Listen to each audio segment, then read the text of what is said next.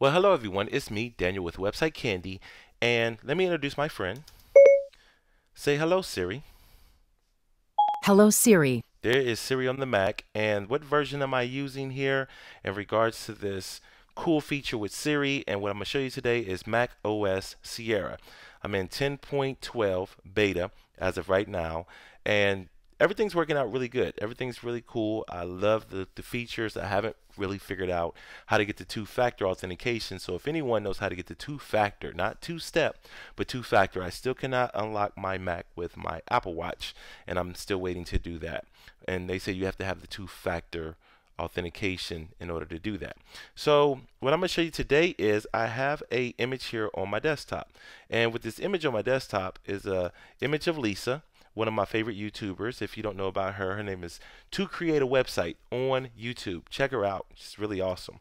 Um, made a video yesterday that was really, really good, and I took a screenshot and was tweeting at her. So if I go over here to my iCloud Drive and I go to desktop right here, you can see that same image of Lisa right here. I'm not going to blow it up. It's not that big a deal. You've already seen it blown up. So what I want to do now is I want to come back over here and I want to go to, let me go full screen here because it's acting crazy. And I want to go over here to my home.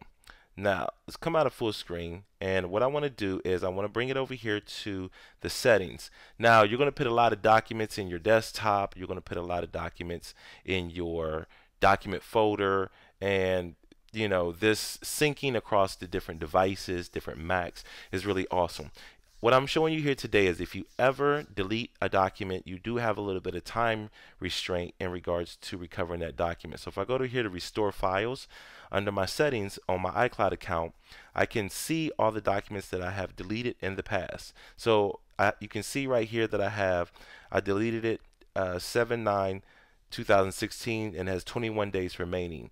Over here, I deleted this right here 7 4 2016 and I have 15 days remaining. So you do have a little bit of a safety catch if you delete a document out of your document folder.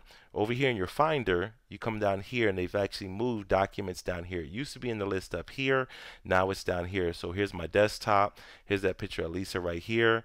Here's the document folder that I have right here. Here's my iCloud drive right here. So I can see different stuff in regards to what I want to you know sync with Apple and across different desktops, different devices with Apple. So it's really cool, really awesome. If you ever lose your contacts, you can come over here and you can restore your contacts as well from a certain date. So from July 2017. And this right here is kind of based off me backing up my device in regards to you know syncing my device and backing it up with Apple so hopefully this video was helpful if you ever lose a file dealing with Apple that's how you recover it thanks for watching and make sure you subscribe and tell a friend about me.